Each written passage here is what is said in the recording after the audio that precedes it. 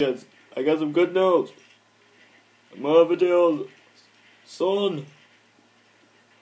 Okay, my bad. Marvadale's son.